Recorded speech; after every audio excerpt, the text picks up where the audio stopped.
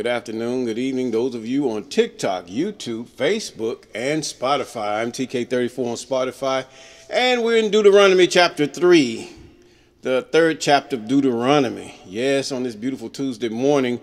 Yes, even the third day of the week. Yes, the third day of the Egyptian calendar week. Okay, let's let's keep it let's keep it a book. Anyway, let us pray. Oh, most holy I am that I am. We praise you. We give you the glory. Hallelujah. Oh, we give you the praise for all the things that you've done. We thank you that the kingdoms of this world have begun become the kingdom of our God. Yes, the kingdom of our God. Yes, you are our king. You are our deliverer. You are the one that made us free. You have put a shout in our souls and a glory upon our heads and you've caused our face to shine. Yes, you even caused us to pass over the waters of trouble and uh, go through the enemies without even a scratch. And we thank you for these things. Yes, yes, yes, yes. We thank you for all things that you've done. We give you the glory and the praise for what you have done. Yes, and what you're about to do. And that you're going to subdue our enemies and that you're going to cause them to lay flat and prostrate before us. And we thank you that these things are coming to pass. Oh, we ask you to remove the fear, remove the longing to sin and do that which is not lawful according to your law, not their law. Ah, deal with the presidents, deal with the leaders, deal with those who hate the people and all they do is want their own things. And we thank you for these things. We give you the glory. Yes, the deliverance has come to the children of Jacob and we thank you. Yes, yes, yes, yes. We give God the glory and the praise, and we're going to forever rejoice because the thing is, He calleth those things that are not as though they are, and we're going to do the same thing. Yes, we're praying for Burkina Faso. We're praying for Benin. We're praying for Africa, the whole continent. Yes, God has given you that. And the people should not have to go in boats and die and fall over because of some person trying to get their resources and don't even want to build nothing in the country to give the people jobs, the young people hope. They do the same thing here in the United States. We used to have it, they took it away by so many means. But yes, we do applaud Africa. We applaud those of the people that go out and step on these leaders that do not want to get in line with what's going on, that the people may prosper, that the babies may have milk, that the people might beware, that their doctors even may get paid. Yes, that the people can be able to afford the doctor's bills. Yes, and we thank God for that. We thank God for you. I'm TK34 on Spotify, Tyrone Clay on TikTok, and T Clay on YouTube now, or Mr. Clay on YouTube. We're in Deuteronomy chapter 3, the third chapter of Deuteronomy.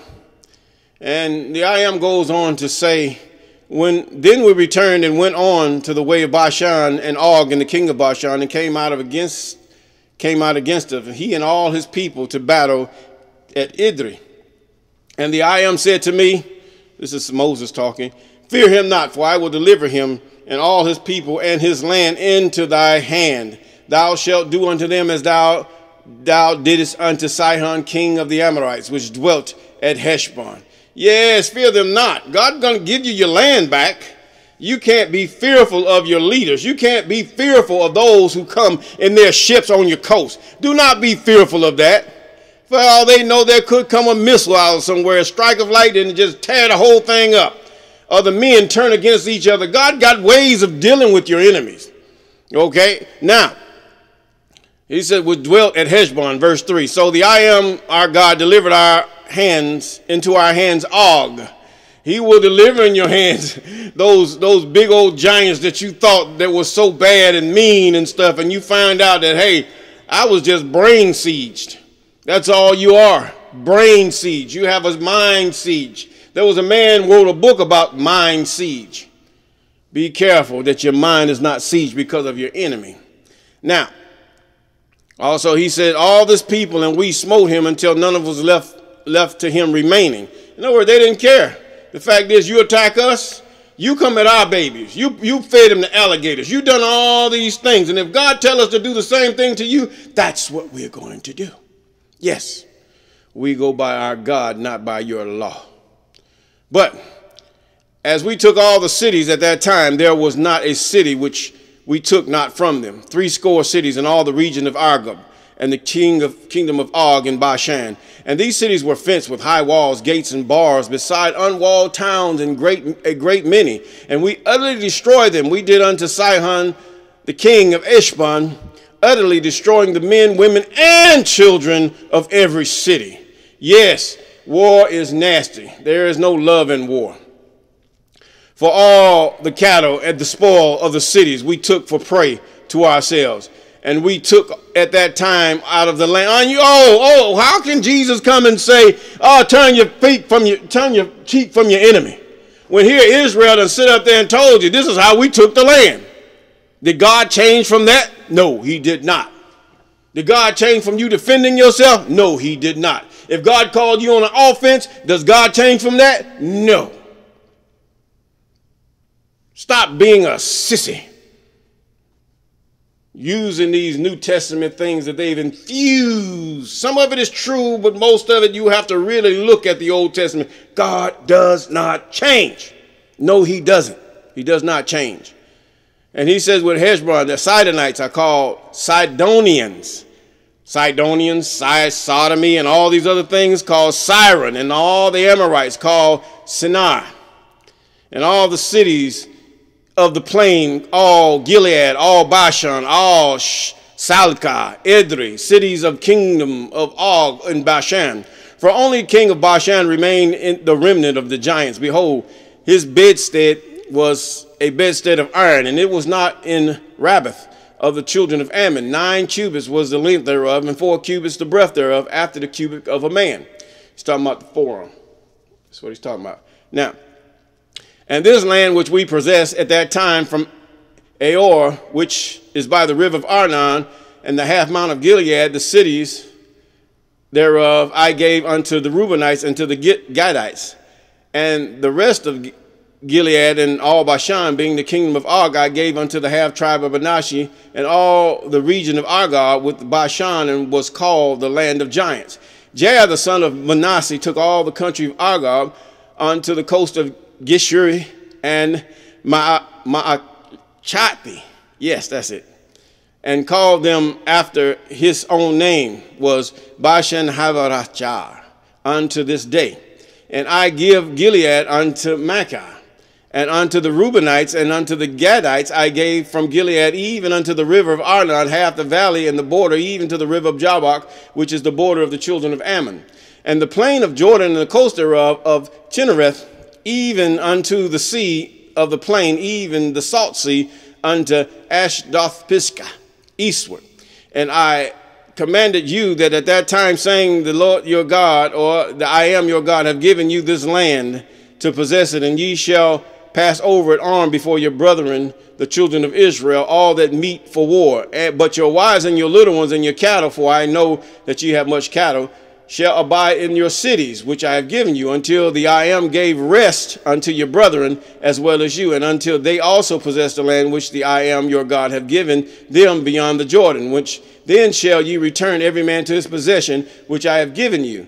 And I have commanded Oshea at the time, saying, Thine eyes have I seen, have seen all that the I am your God have, get, have done.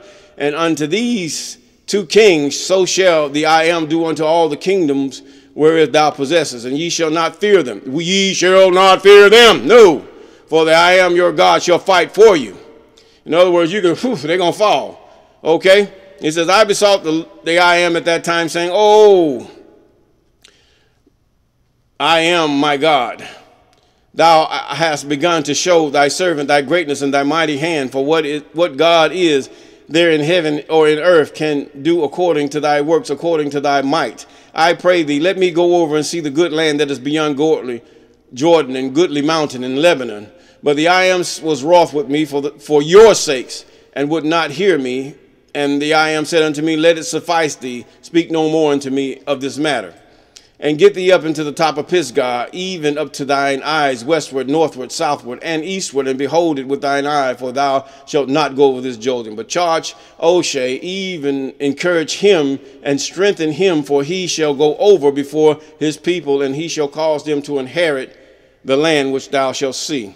So we abode in the valley over against Beth Peor. Yes, this is this is this is up to the point of Canaan. Some of you are going, going to go, you are going to go to war. Yes, you are. You young man, yes. You may be young woman. You might be in the rear somewhere, but you're still going to war.